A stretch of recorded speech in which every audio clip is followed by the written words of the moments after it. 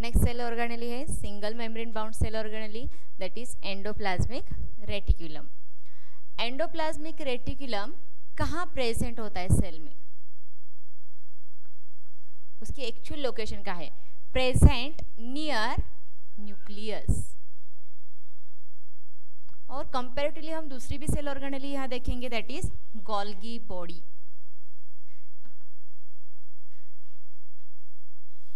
और इसे हम गोल्गी कॉम्प्लेक्स भी बोल सकते हैं।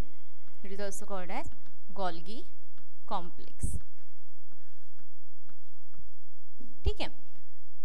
Endoplasmic reticulum present near the nucleus Golgi bodies present near plasma membrane near plasma membrane ठीक है? Endoplasmic reticulum are of two types that is rough endoplasmic reticulum and smooth endoplasmic reticulum denoted by RER and SER. Rough endoplasmic reticulum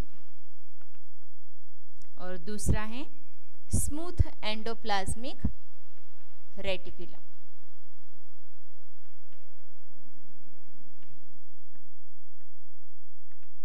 reticulum ठीक है? तो what is mean by rough and smooth meaning तो आपको पता ही है rough का मतलब और स्मूथ का मतलब. Suppose this is a type of endoplasmic reticulum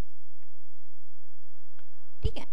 तो ये किसके नियर प्रेजेंट है? नियर द न्यूक्लियस यहाँ न्यूक्लियस है सेल का. तो ये यहाँ प्रेजेंट है नियर द न्यूक्लियस ठीक है?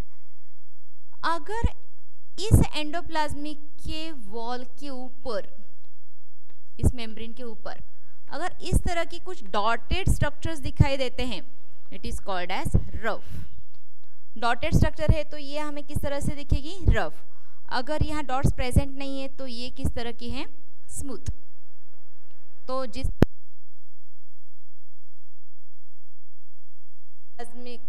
स्मूथ एंडो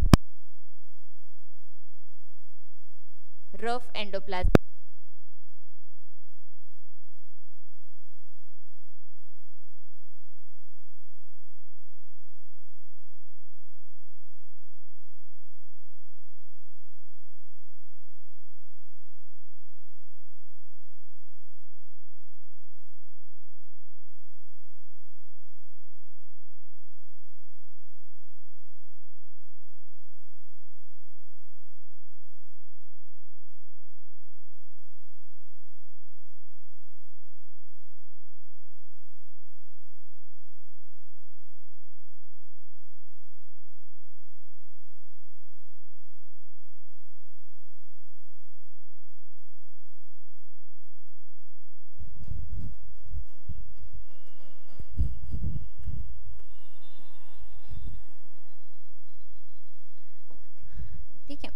तो रफ का मतलब है जहाँ ये इस तरह के डॉट्स प्रेजेंट है तो ये रफ डॉट्स एबसेंट है तो स्मूथ तो इन डॉट का मतलब क्या है? It is called as ribosomes अगर एंडोप्लाज्मिक रेटिकुलम के ऊपर अगर राइबोसोम्स प्रेजेंट है तो ये स्ट्रक्चर आपको रफ जैसे दिखाई देगा, अगर एबसेंट है तो ये स्मूथ दिखाई देगा.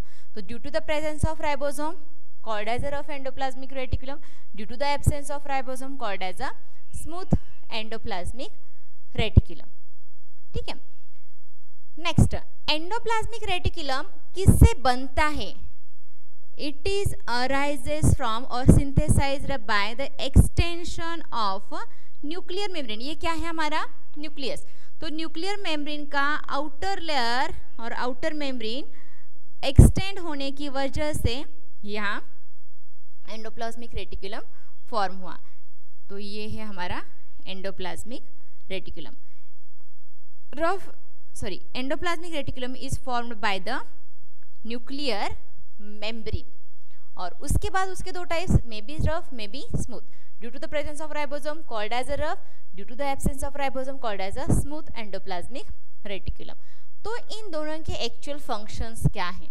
रफ एंडोप्लाज्मिक रेटिकुलम के ऊपर राइबोसोम्स प्रेजेंट हैं। तो राइबोसोम का मेन फ़ंक्शन है प्रोटीन सिंथेसाइज करना। प्रोटीन सिंथेसाइज करना। ठीक है?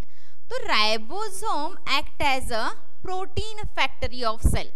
Ribosome को हम बोलेंगे प्रोटीन फैक्ट्री ऑफ़ सेल, क्योंकि राइबोसोम में मेनली प्रोटीन सिंथेसाइज की जाती है it is called as the protein factory of cell तो रफ एंडोप्लाज्मिक रेटिकुलम का फ़ंक्शन क्या हुआ? सिंथेसिस ऑफ़ प्रोटीन इसका फ़ंक्शन क्या है? सिंथेसिस ऑफ़ प्रोटीन प्रोटीन को ये सिंथेसाइज करते हैं। तो स्मूथ एंडोप्लाज्मिक रेटिकुलम के वॉल के ऊपर राइबोसोम्स एब्सेंट है तो ये तो प्रोटीन तो सिंथेसाइज नहीं करेगा। तो इनका फ़ंक्शन है they store carbohydrate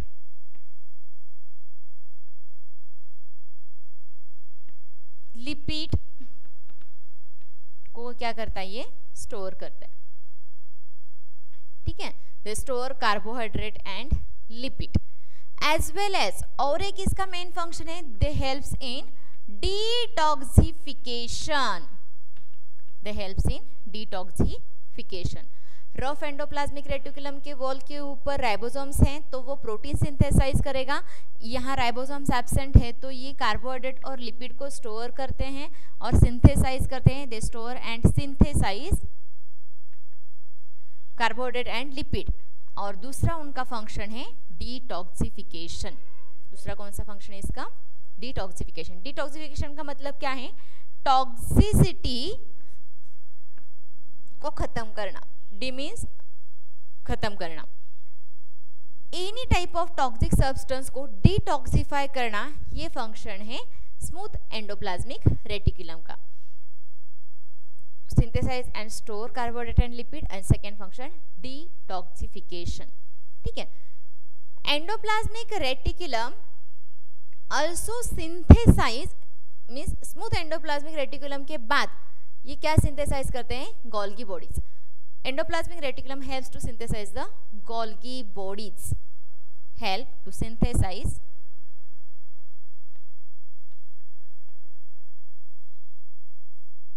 Golgi body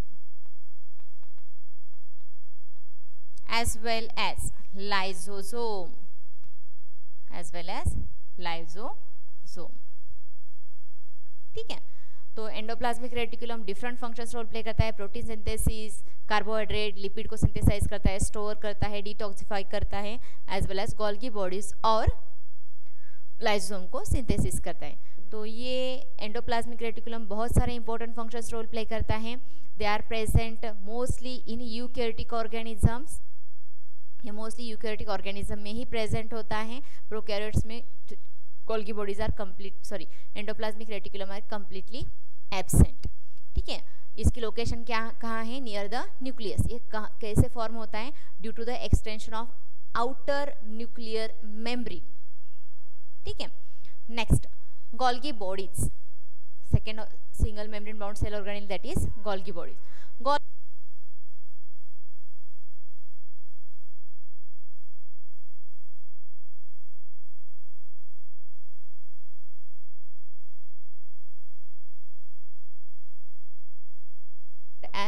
Golgi